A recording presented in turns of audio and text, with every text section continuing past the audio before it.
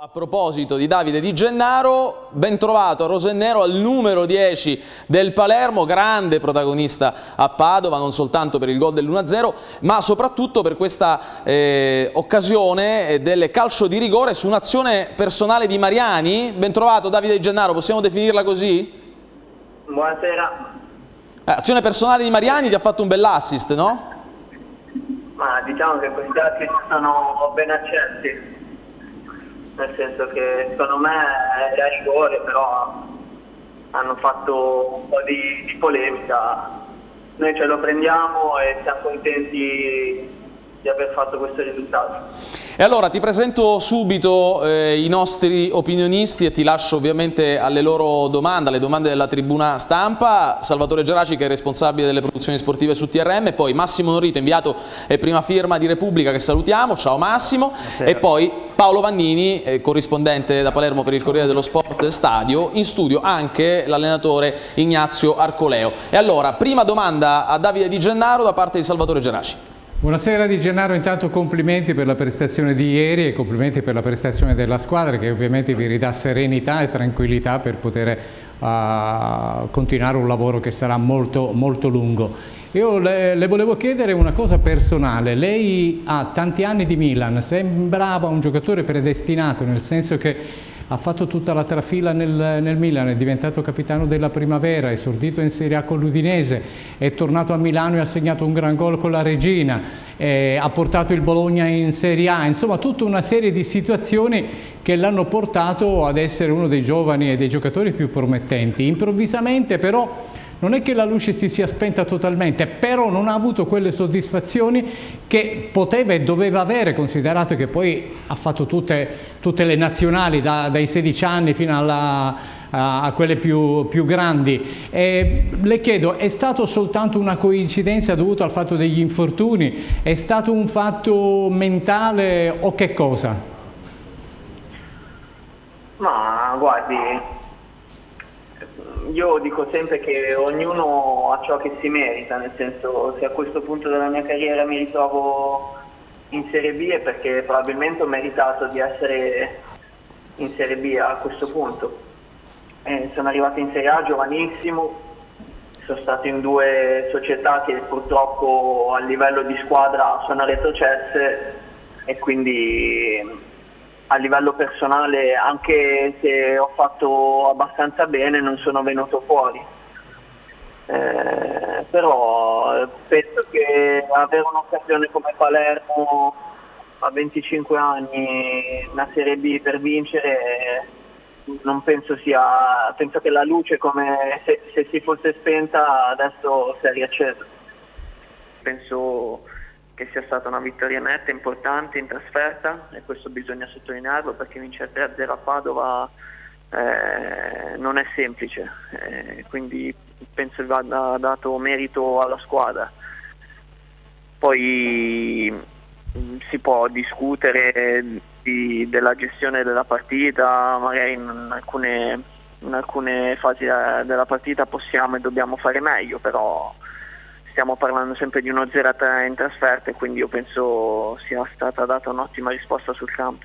Facciamo una prova con Paolo Vannini, prego Paolo. Buonasera Davide, in caso la sì, fai tu per interposta esatto. Ma mentre ristavano due aspetti, abbiamo sempre parlato del rapporto forte tra Gattuso e la squadra, ecco mi piacerebbe sapere da Di Gennaro che con Gattuso e si è visto al momento del gol ha un ottimo rapporto, come carica, cosa eh, dice Gattuso prima eh, eh, del match, durante il match, perché ancora è un aspetto che, che, non abbiamo, avendo fatto soltanto tre partite in panchina, Gattuso in B, eh, che non abbiamo ancora eh, preciso. E l'altro è ehm, eh, che significato ha il, il, il, il, gesto di esultanza con la mano davanti alla bocca che Di Gennaro ha fatto domenica a Padova, anche perché ci auguriamo di impararlo molto bene nelle prossime domeniche e vederlo sempre più spesso. Ma per quello che riguarda il mister, eh, comunque fino all'anno scorso giocava, quindi ci parla da, come se fosse un nostro compagno di squadra. Eh, è normale che essendo allenatore eh, le dinamiche sono diverse da quando giocava, ma eh, riesce a trasmetterci quella grinta, quella, quella passione che insomma l'ha sempre contraddistinto nella sua carriera. Eh, per quanto riguarda l'esultanza, no, è il simbolo della lettera A che è l'iniziale di mia moglie Alessia e fortunatamente negli ultimi due anni l'ho fatto, l'ho fatto abbastanza spesso, speriamo di, di, farlo spesso anche a Palermo. Perdonaci Davide, è il segno del? La lettera A, ok, ok. Ok, ok, perfetto. Ignazio Arcoleo, l'allenatore della trasmissione, e poi Flavia ti legge un messaggio che è arrivato eh, da parte dei tifosi. Ignazio. Io volevo farti tanti tanti complimenti perché mi è piaciuto moltissimo il tuo senso del, um, del, del saper tenere bene la posizione in campo e, e del fatto che riesci a inserirti fra le linee avversarie con i tempi giusti è uno schema che avete provato in allenamento o è nel tuo DNA o è venuto istintivo? Questo per inserirsi? Ti ringrazio. Sulla, sulla ricerca diciamo della profondità. Il, il, mio ruolo eh, è quello, insomma, farmi trovare tra le linee per collegare centrocampo e attacco, quindi è quello che il mister ci chiede, proviamo in settimana, eh, ieri giocando anche con, con Paolo eh, diciamo, dovevamo dare io e lui soluzioni di gioco ai centrocampisti e lasciare Abel eh, in, in, zona gol. Eh, alcune volte ci è riuscito bene, alcune volte meno, ma ci sarà modo di, di fare sempre meglio. Insomma. Ok, eh, messaggi dei per Davide Di Gennaro e quindi Flavia, prego a te. Sì, Daniele Triolo chiede, Davide, quando hai preso il numero 10 di maglia, all'inizio hai tentennato perché non ti sentivi all'altezza di sostituire un nome come Miccoli? Ma guarda, devo dirti la verità, prima che, che ci fosse stata questa cosa dell'asta eh, è venuto Barreto in camera e mi ha detto che mi, mi, avevano assegnato il 10, quindi questo mi ha inorgoglito molto perché è importante avere eh, in primis eh, della stima dei tifosi quella dei compagni, quindi è stato un bel gesto. Poi c'è stata questa cosa dell'asta e ho detto, ripeto, non potevo darla all'Afferty, quindi l'ho presa, presa, io e è un numero insomma, non bisogna caricarlo di eccessive responsabilità perché se si fanno paragoni è sempre è sempre scomodo e, e sono troppo azzardati, quindi Fabrizio ha fatto la storia di questa società e io l'ho scelto, mi fa piacere, è un onore indossarla e cercherò di, di mettere la mia qualità al servizio della squadra. Davide, l'ultima e poi intanto ti ringraziamo per la disponibilità perché comunque insomma la giornata è stata abbastanza impegnativa. Aveva suggerito una, una cosa, sì, sì, eh, posso chiedere brevemente a Davide un... Vai. Davide scusa, eh, i 500 euro che hai sborsato per la maglia, come ha detto Norrito, sono stati il prezzo più alto per, eh, per un giocatore oppure qualcuno ha dovuto sborsare di più? Innanzitutto sono un po' più di 500 e, e, poi sì, vabbè, la maglia numero 10 è quella che diciamo costa di più. provoca aste sempre più alte quindi è stato così in tutte le squadre dove sono andato e soprattutto a Palermo è stata bella salata Davide, l'ultima e poi ti salutiamo, diciamo giornata abbastanza impegnativa, poi insomma si gioca già venerdì sera contro il Cesena al Barbera. Ti chiedo se eh, nelle prime tre giornate di campionato di fatto avete eh, accusato, se sì quanto, questo peso di essere il Palermo che fa tremare tutto il mondo, il Palermo che deve andare in Serie A a mani basse, il Palermo che ha la squadra più forte d'Europa, almeno per quanto riguarda la categoria di Serie B.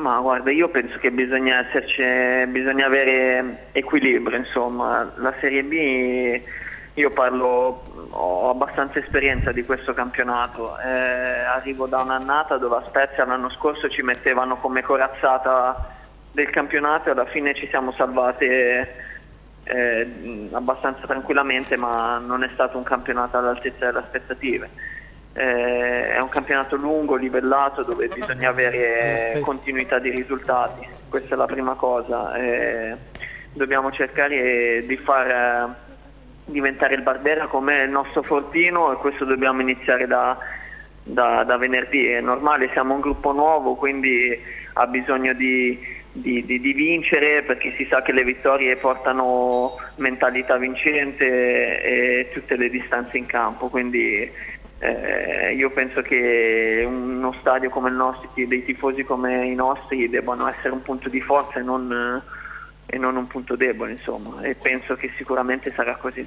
Quanto è difficile spiegare anche al pubblico in generale che comunque la Serie B è questa, cioè puoi vincere in trasferta, poi abbiamo visto in questa terza giornata comunque l'Empoli pareggiare in casa con un ottimo Trapani, il Cesena però perdere, lo stesso Spezia perdere in maniera inaspettata contro il Carpi, cioè la Serie B è questa anche se sei la squadra più forte, possiamo dirlo eh, abbastanza con fermezza?